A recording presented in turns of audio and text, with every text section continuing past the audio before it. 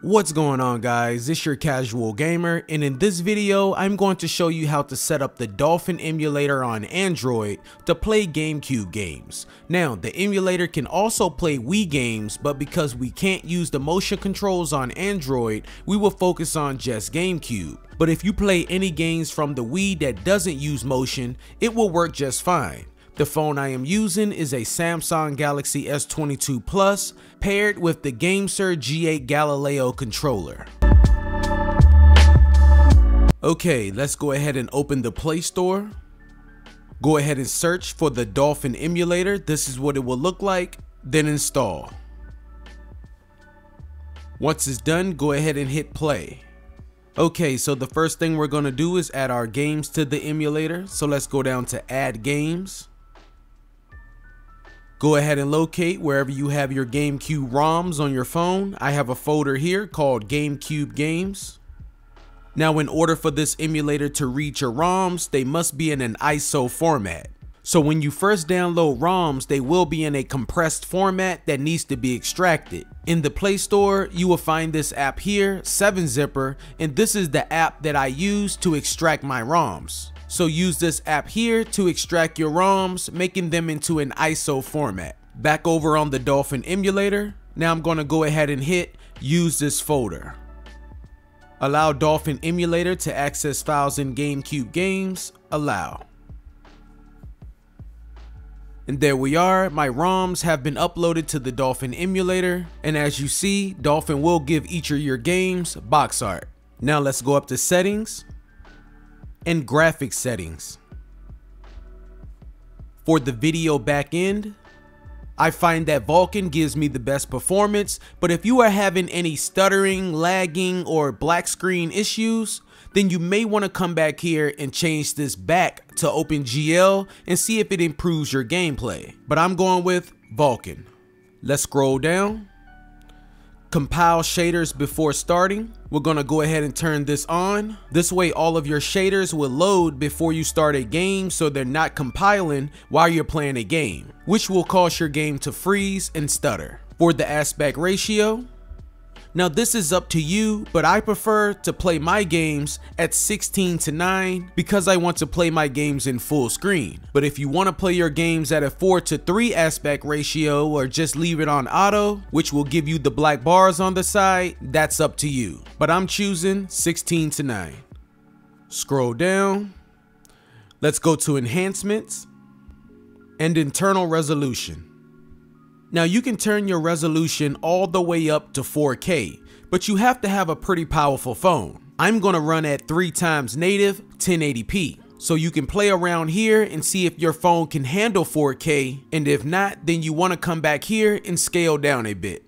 And if you scroll down a little more, you will see this feature, disable fog. Now I'm not going to turn this on, but I want you guys to be aware of what it does. It makes distance objects more visible by removing fog, thus increasing the overall detail. Disabling fog will break some games, which rely on proper fog emulation. So if you want to try this out, you could turn it on.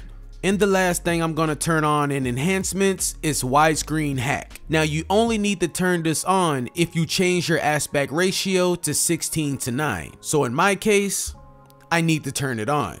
Now let's go back. Now if you have a controller connected to your phone, let's set that up. Let's go back up to settings and GameCube input. Make sure that GameCube Controller 1 is set on Standard Controller. If it's not, just click on GameCube Controller 1 and select Standard Controller. Look over to the right, you will see a gear icon, click on that. Now make sure you have your controller connected to your phone before opening this emulator and under device, you should see the name of your controller. In my case, GameSir G8. Scroll down till you see buttons and to map out a button all you want to do is click on that button so we can start with the A button and then hit whatever button on your controller you want to be the A button. B whatever button I want to be B and repeat the same thing for X Y and Z and start.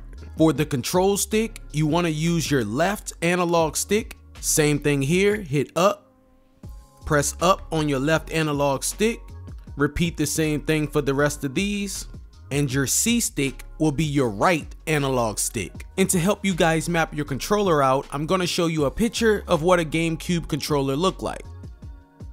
Now we can go ahead and start up a game and I'm to select NBA Street Volume 2.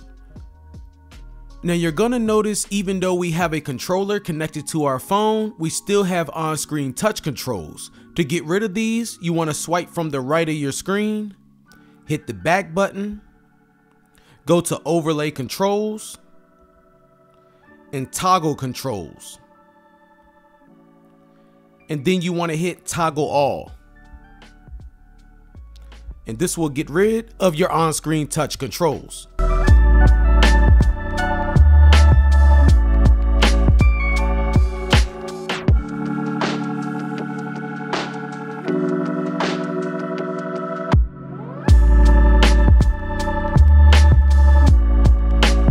If you have some Wii games that don't require motion controls and you want to upload those to the emulator, then go down to add games, now you can put your Wii games in the same folder as your GameCube games and just click on use this folder again, but I have created a brand new folder on my phone called Wii Games. To find this folder, I'm going to click on the name of my phone up here in the left, scroll down, there's the folder, Wii Games. I have one game in here, Sonic Colors. Hit use this folder and allow Dolphin to have access. Now right here where it says Wii, if we click on this, we'll go to our Wii games.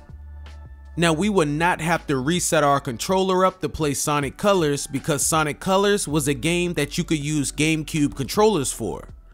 All we need to do is load up the game and our controller will work with the GameCube controller settings.